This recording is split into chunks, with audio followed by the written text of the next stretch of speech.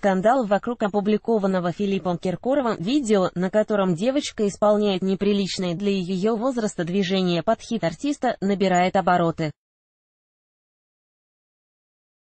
На поп-короля отечественной эстрады обратила внимание уполномоченный по правам ребенка Анна Кузнецова. Все началось с того, что на своей официальной страничке в социальной сети Instagram Филипп Киркоров выложил пародию на хит «Цвет настроения – синий».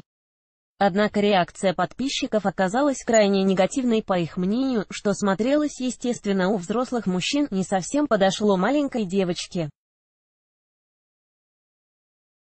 Ребенок повторил движение за танцором, опрокинул воображаемую стопку, сделал вид, что снимает одежду, когда градус негатива зашкалил, Киркоров удалил видео, но скандал не утих. Эксперт Совета по развитию информационного общества при Госдуме Вадим Манукян в своем аккаунте в Facebook, опубликовав резонансное видео с участием ребенка, набросился на Киркорова с яростной критикой.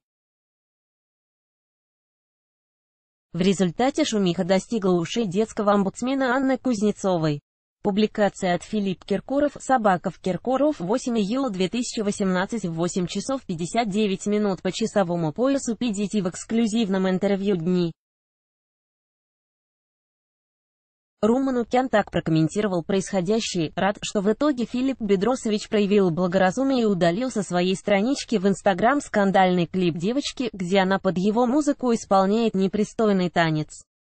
Реакция общественности на этот клип была однозначной, она осудила Киркорова за этот репост, давние и преданные поклонники высказали искреннее непонимание.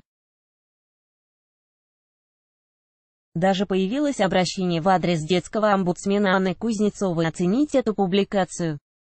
Вероятно, именно это и повлияло на Киркорова, стало очевидно, что цвет настроения перестал быть синим, и даже для него это перестало быть забавным, заигрался король, бывает.